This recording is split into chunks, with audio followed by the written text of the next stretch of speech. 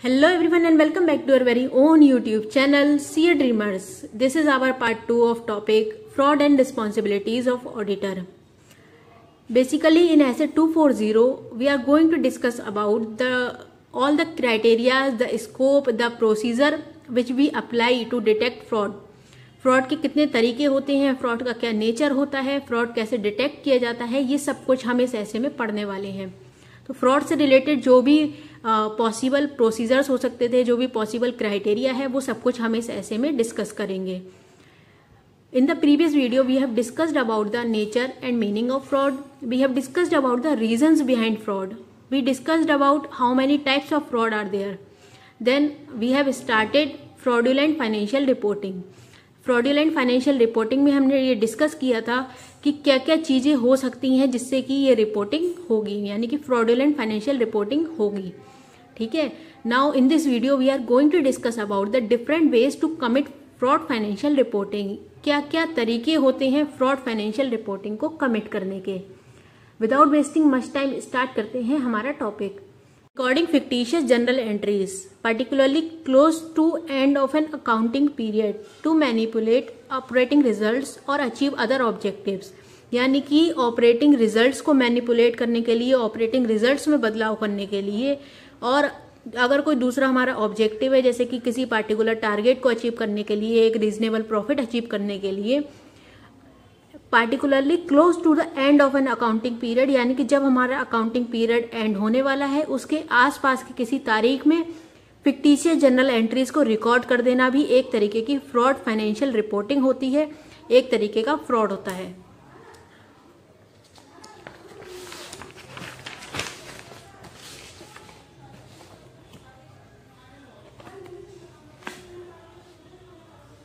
Inappropriate adjusting assumptions and changing judgment used to estimate account balances. Inappropriately adjusting assumptions यानी कि गलत assumptions लेना, गलत अगर आप कहें कि डेप्रिसिएशन का रेट हमने ज़्यादा ले लिया या फिर प्रोविज़न ज़्यादा चार्ज कर दिया तो गलत एस्टिमेशन लेना, गलत एजम्पन्स को अप्लाई करना चेंजिंग एडजस्टमेंट्स एडजस्टमेंट को चेंज करते रहना used to estimate account balances जिससे कि अकाउंट बैलेंसेज जो हमने एस्टिमेट कर रखे हैं वो भी बदलते रहते हैं। तो ये सारे कुछ बेसिकली फ्रॉड फाइनेंशियल रिपोर्टिंग क्या होगी? जो हमारे फाइनेंशियल स्टेटमेंट्स हैं उसको किसी भी तरीके से गलत प्रेजेंट करना मतलब वो ट्रू एंड फेयर व्यू नहीं दे रहे हैं। उसमें हमने फ्रॉड कमिट कर रखा है उसकी हमने जो फिगर्स हैं वो गलत कर रखी हैं। फिगर्स में आ, कुछ भी गलती कर रखी है जो रियल फिगर्स हैं, वो हम शो नहीं कर रहे हैं मिस रिप्रेजेंटेशन है हमारे फाइनेंशियल स्टेटमेंट्स में। ये सारी चीज़ें आएँगी फ्रॉड फाइनेंशियल रिपोर्टिंग में। तो किसी भी तरीके से अगर हमने अमाउंट चेंज कर दिया, अगर हमने अमाउंट में कोई अमाउंट या तो हमारा अंडर स्टेटेड है या फिर ओवर स्टेटेड है, ये सारी चीज़ें होंगी फ्रॉड फाइनेंशियल रिपोर्टिंग में। ओमिटिंग एडवांसिंग और delaying recognition in the financial statement किसी भी एंट्री को ओमिट कर देना एडवांस में रिकॉर्ड कर लेना या फिर रिकॉर्ड ही मत करना, यानी कि बाद में रिकॉर्ड करना, बहुत डिले करके रिकॉर्ड करना। ये रिकॉग्नाइज करना फाइनेंशियल स्टेटमेंट में of the events and transaction events को ट्रांजेक्शन्स को एडवांस में रिकॉर्ड कर लेना डिले रिकॉर्ड करना या फिर ओमिट कर देना that have occur during the reporting period जो कि रिपोर्टिंग पीरियड के दौरान अकर हुए हैं, उन सारे ट्रांजेक्शन के साथ ऐसी सब चीज़ें करना, ये भी फ्रॉड फाइनेंशियल रिपोर्टिंग में आएगी। कंसीलिंग और not disclosing facts that could affect the amount recorded in the financial statement उस फैक्ट को, उन अमाउंट्स को कंसील कर लेना। कंसील करने का मतलब वैसे तो चोरी करना होता है। चोरी करने का मतलब क्या हुआ कि ओमिट कर लेना, ना दिखाना और नॉट डिस्क्लोजिंग या फिर डिस्क्लोज नहीं करा गया उस अमाउंट को, जो कि फाइनेंशियल स्टेटमेंट्स पर अफेक्ट डाल सकता था, एक सिग्निफिकेंट इम्पैक्ट डाल सकता था। Engaging in complex transactions that are structured to misrepresent the financial position. Complex transactions में एंगेज होना यानी कि जैसे कि जो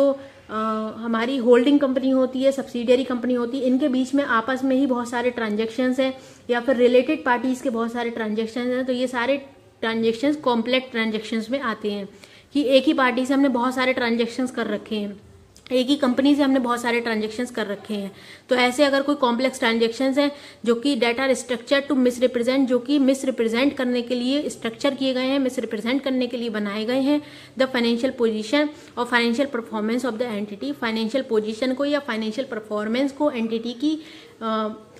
स्ट्रक्चर मतलब उन एंट्रीज का स्ट्रक्चर ही इसलिए इतना कॉम्प्लेक्स किया गया है जिससे कि हम अपने फाइनेंशियल पोजीशन को या financial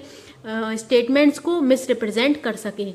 Altering records and terms related to significant and unusual transaction जो रिकॉर्ड्स हैं या फिर जो टर्म्स हैं, यानी कि शर्तें हैं, उनको ऑल्टर करना, उनमें चेंज करना to significant and unusual transaction significant transaction या अनयूजल ट्रांजेक्शन में ऐसा कोई ऑल्ट्रेशन रिकॉर्ड्स में या फिर टर्म्स में ये भी बताता है कि जो फाइनेंशियल रिपोर्टिंग है उसमें कोई फ्रॉडुलेंट एक्ट कमिट किया गया है। तो ये सारी चीज़ें हैं जो कि शो करती हैं कि फाइनेंशियल रिपोर्टिंग में आ, कुछ ना कुछ फ्रॉडुलेंट एक्टिविटी की गई है। अब बात करते हैं about the different ways to manipulate the account यानी कि कौन कौन से तरीके होते हैं जिससे हम अकाउंट्स को मैनिपुलेट कर सकते हैं वो हमें true and fair view present नहीं करेंगे। अकाउंट में भी manipulated in the following ways account को बहुत सारे तरीकों से मैनिपुलेट किया जा सकता है, जैसे कि रिकॉर्डिंग फिक्टिशियस सेल और omission of sale fictitious sale यानी कि गलत सेल रिकॉर्ड करना या फिर सेल को रिकॉर्ड ही ना करना ओमिट कर देना स्किप कर देना. रिकॉर्डिंग फिक्टिशियस परचेजेज और सप्रेशन ऑफ़ परचेजेस मतलब फिक्टिशियस परचेजेस रिकॉर्ड करना फिक्टिशियस का मतलब आई होप आप लोग समझ रहे हैं फिक्टिशियस का मतलब यहाँ पर गलत से ही लेंगे। या तो आप ज़्यादा रिकॉर्ड कर दें, कम रिकॉर्ड कर दें, सब कुछ फिक्टिशियस परचेज में आएगा। जो भी चीज़ ट्रू नहीं है, जो भी चीज़ मतलब सही नहीं है, वो सब चीज़ें फिक्टिशियस हैं, वो सब डाटा गलत है। और सप्रेशन ऑफ़ परचेज सप्रेशन का मतलब डिक्शनरी मीनिंग तो होता है to stop something from happening किसी चीज़ को होने से रोकना। पर यहाँ पर सप्रेशन से मतलब आप लोग ये ले सकते हैं कि जो परचेजेस उन्होंने कर रखी हैं, वो परचेजेस शो नहीं करी हैं, कम परचेजेस शो करी हैं। ओवर वैल्यूएशन और under valuation of inventory inventory को ओवर वैल्यूड शो करना या फिर अंडर वैल्यूड शो करना। Recording fictitious expenses fictitious expenses यानी कि गलत एक्सपेंसेस रिकॉर्ड करना इमेजनरी एक्सपेंसेस रिकॉर्ड करना ओमिशन ऑफ़ एक्सपेंसेस या फिर एक्सपेंसेस रिकॉर्ड ही ना करना। फिक्टिशियस का मतलब यहाँ पर आप इमेजनरी से भी ले सकते हैं कि इमेजनरी चीज़ें हमने रिकॉर्ड कर दी इमेजनरी सेल रिकॉर्ड कर दी इमेजनरी परचेजेस रिकॉर्ड कर दी इमेजनरी एक्सपेंसेस रिकॉर्ड कर दिए, जो रियल में हुए ही नहीं हैं। Taking credit for accrued income accrued income का मतलब जो एक्रू हो चुकी है, पर हमें रिसीव नहीं हुई है। उसके लिए हमने क्रेडिट लिया which is not likely to be receive जो कि रिसीव ही नहीं होनी है, तब भी हमने अपनी एक्रूड इनकम में शो करी तो ये हो गई फ्रॉडुलेंट फाइनेंशियल रिपोर्टिंग और ओमिशन ऑफ़ इनकम या फिर इनकम रिकॉर्ड ही नहीं करी। मतलब या तो गलत रिकॉर्ड कर रहे हैं या फिर रिकॉर्ड ही नहीं कर रहे हैं। ये सब कुछ हो गया फाइनेंशियल रिपोर्टिंग में गड़बड़। Charging items of capital expenditure जो कैपिटल एक्सपेंडिचर के आइटम्स हैं, उसको रेवेन्यू में चार्ज करना या फिर बाई से वर्षा यानी कि रेवेन्यू के एक्सपेंसेस को कैपिटलाइज कर देना। ये सब चीज़ें हैं फाइनेंशियल रिपोर्टिंग के डिफरेंट टाइप्स हैं ये। अकाउंट्स को मैनिपुलेट करने की कि अकाउंट्स में आप किस किस तरीके से गड़बड़ कर सकते हैं। उसके बाद है पर्पज फॉर विच अकाउंट्स में भी मैनिपुलेटेड किन किन कारणों की वजह से हम अकाउंट्स में मैनिपुलेशन करते हैं? हमारा पर्पज क्या है इन मैनिपुलेशन को करने के पीछे? Detection of manipulation of accounts accounts की मैनिपुलेशन को डिटेक्ट करना with a view to presenting a false state of affairs जो कि एक फॉल्स स्टेट ऑफ़ अफेयर्स को प्रेजेंट कर रहे होते हैं, एक गलत पिक्चर हमें शो कर रहे होते हैं is a task requiring great tact ये एक ऐसा टास्क है जिसमें कि ग्रेट टैक्ट एंड इंटेलिजेंस की ज़रूरत होती है because generally management personnel in higher management cadre are associated with this type of fraud क्योंकि जो जनरली मैनेजमेंट के जो पर्सनल होते हैं, जो एम्प्लॉयज़ होते हैं, जो हायर मैनेजमेंट में होते हैं कार्डर का मतलब क्या हुआ कि मतलब ऐसे ग्रुप ऑफ़ पीपल जो कि एक स्पेशलाइज्ड पर्पस को करने के लिए रखे होते हैं या फिर एक स्पेशलाइज्ड प्रोफेशन के होते हैं are associated with this type of fraud वो लोग इस फ्रॉड से एसोसिएटेड होते हैं, यानी कि बेसिकली इसके कहने का क्या मतलब है कि जो हायर मैनेजमेंट में लोग होते हैं, ज़्यादातर वही लोग फ्रॉड कमिट करते हैं, क्योंकि उन्हें ही इंटरनल कंट्रोल की वीकनेसेस के बारे में पता होता है।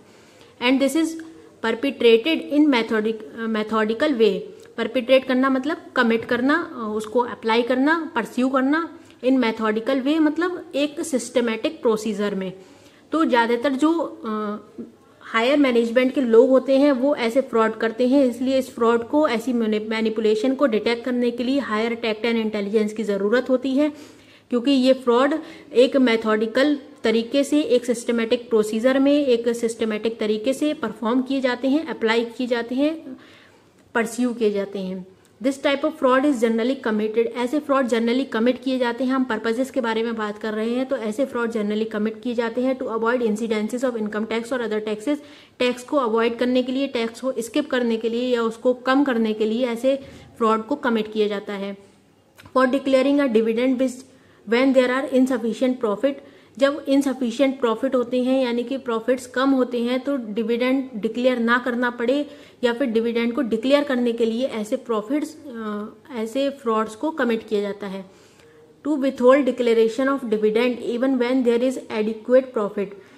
जबकि हमारे पास एडिक्वेट प्रॉफिट है, पर्याप्त मात्रा में हमें प्रॉफिट हुआ है, तब भी हम डिविडेंड देना नहीं चाह रहे हैं डिविडेंड डिक्लेयर नहीं करना चाह रहे हैं, इसलिए ऐसे फ्रॉड कमिट किए जाते हैं कि अगर हमारे पास प्रॉफिट है, तब भी हम अपने अकाउंट्स को मैनिपुलेट करके प्रॉफिट को कम दिखा सकते हैं, जिससे कि हमें डिविडेंड डिक्लेयर ना करना पड़े।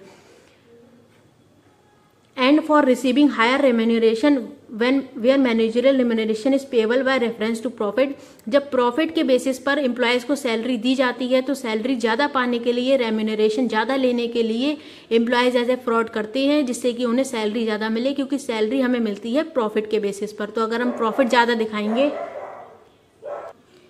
अपने अकाउंट्स में मैनिपुलेशन करके तो फिर हमें सैलरी ज़्यादा मिलेगी रेम्यूनरेशन ज़्यादा मिलेगा, इसलिए ऐसे प्रॉफिट ऐसे फ्रॉड्स भी किए जाते हैं by the management I hope this is clear now the misappropriation of asset यानी कि जो हमारा सेकेंड टाइप ऑफ़ फ्रॉड है मिस एप्रोप्रिएशन ऑफ़ एसेट उसको डिस्कस करते हैं.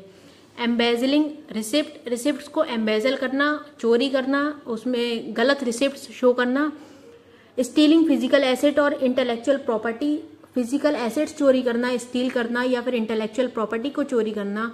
causing an entity to pay for goods and services not received ऐसी goods और सर्विसेज़ जो कि रिसीव ही नहीं हुई हैं, उसके लिए पे करना, उसके लिए पैसे देना causing an entity's assets for personal use entity के एसेट्स को पर्सनल यूज़ के लिए यूज़ करना। ये क्या है? मिस अप्रोप्रिएशन ऑफ़ एसेट यानी कि एसेट को गलत तरीके से अप्रोप्रिएट करना एसेट को गलत तरीके से यूज़ करना, उसका यूटिलाइजेशन करना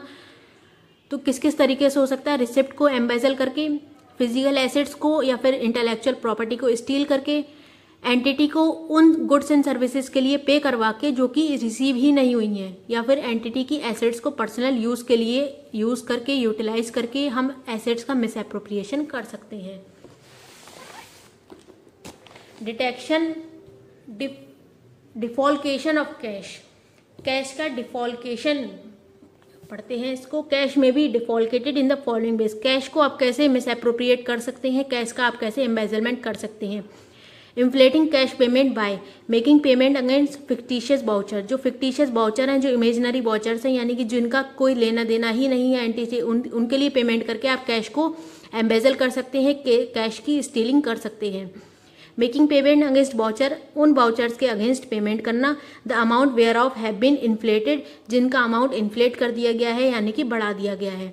Manipulating totals of wage by including names of dummy workers in wage rolls ghost workers के नाम वेज रोल में डालकर, उनके लिए वेजेस के टोटल को मैनिपुलेट करना वेजेस के टोटल को बढ़ाना, क्योंकि जब वेजेस का टोटल बढ़ेगा, हमें कैश ज़्यादा देना पड़ेगा। हो गया misappropriation of cash cash या फिर डिफॉल्केशन ऑफ़ कैश यानी कि कैश की हमें गलत फिगर शो हो रही है। कैश को गलत तरीके से यूज़ करा गया है। Overcasting of petty cash expenditure जो पैटी कैश यानी कि जो छोटे मोटे रोज के रेवेन्यू एक्सपेंडिचर होते हैं एंटिटी के, जो रोज के खर्चे होते हैं, जैसे कि चाय का खर्चा हो सकता है, या फिर जो भी रोज के एक्सपेंसेस हैं एंटिटी के, उनमें ओवरकास्ट करके उनको उनको ओवर स्टेटेड करके उनकी फिगर्स को ज़्यादा दिखाकर हम कैश में डिफॉल्केशन कर सकते हैं। सप्रेशन कैश रिसिप्ट यानी कि कैश रिसिप्ट को अब कम करके कैसे कर सकते हैं? Teeming and lading teeming and lading का क्या मतलब होता है? Teeming and lading is a very common fraud against the bookkeeping bookkeeping में ये फ्रॉड कमिट किया जाता है। टीमिंग एंड लैडिंग को हम लैपिंग और डिलेड अकाउंटिंग भी कहते हैं। टीमिंग एंड लैडिंग में क्या होता है कि एक कस्टमर के अकाउंट से अमाउंट को उठाकर हम दूसरे कस्टमर के अकाउंट में शिफ्ट कर देते हैं अकाउंट बैलेंसेस को मैच कराने के लिए, उनको बैलेंस रखने के लिए।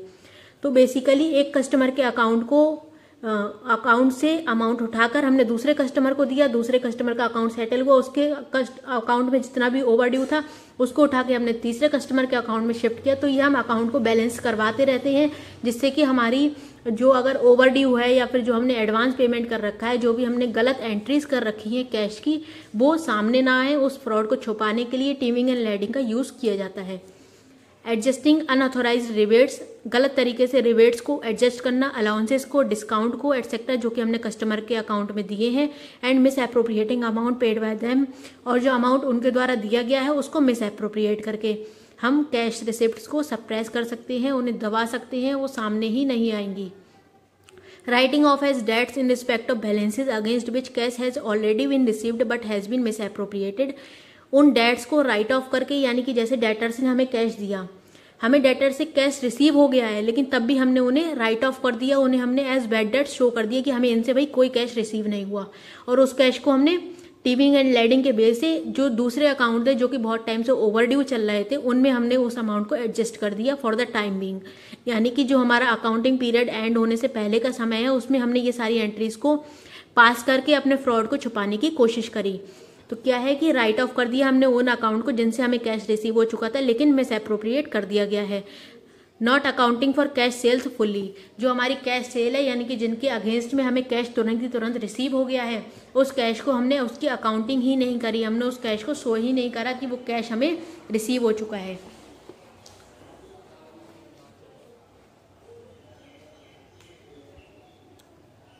Not accounting for miscellaneous receipt example sale of scrap अगर हमने सेल ऑफ़ स्क्रैप यानी कि स्क्रैप बेचने से जो हमें अमाउंट uh, रिसीव हुआ जो हमें कैश रिसीव हुआ उसकी हमने अकाउंटिंग ही नहीं करी ऐसे कोई भी मिसलिनियस एक्सपेंसेस अगर हमें मिसलिनियस रिसिप्ट ऐसी कोई भी हो रही हैं उसकी हम अकाउंटिंग ही नहीं कर रहे हैं उसको हम रिकॉर्ड ही नहीं कर रहे हैं।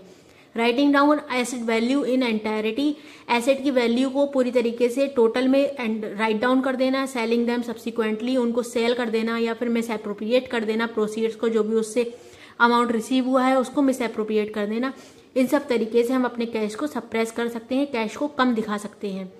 By casting round totals in the cash book cash book के टोटल्स में कोई गलती कर देना, ये सब बहुत सारे तरीके होते हैं कैश को मिस अप्रोप्रिएट करने के कैश को गलत दिखाने के कैश की फिगर को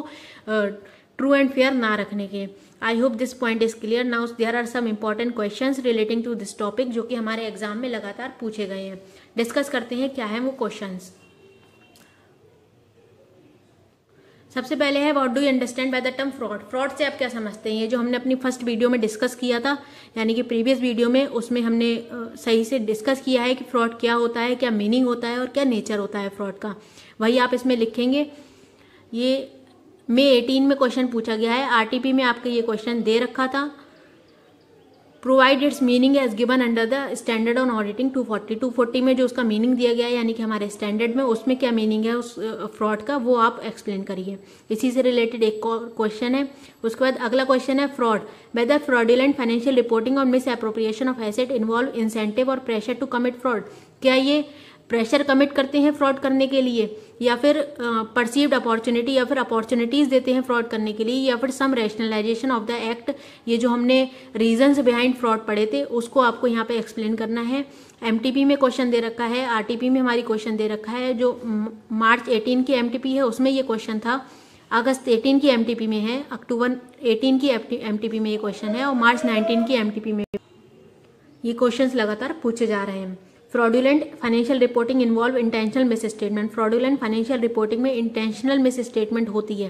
देखो, अगर फ्रॉड है फ्रॉड का टाइप है तो इसका मतलब वो इंटेंशनल मिस स्टेटमेंट ही है, क्योंकि फ्रॉड एक इंटेंशनल एक्ट होता है इंक्लूडिंग ओमिशन ऑफ़ अमाउंट जिसमें कि अमाउंट का ओमिशन इन्वॉल्व होता है डिस्क्लोजर इन्वॉल्व होते हैं मतलब डिस्क्लोजर्स का omission to deceive financial statement users financial statement के यूज़र्स को डिसीव करने के लिए, उन्हें गलत इन्फॉर्मेशन प्रोवाइड करने के लिए, उन्हें भटकाने के लिए। तो आप ये स्टेट करिए कि ये ठीक लिखा है या नहीं लिखा है, इस पर आप कमेंट करिए, अपने सजेशंस प्रोवाइड करिए। Detection of manipulation of account with a view to presenting a false state of affairs is a task requiring great tact and intelligence ये जो अभी हमने डिस्कस किया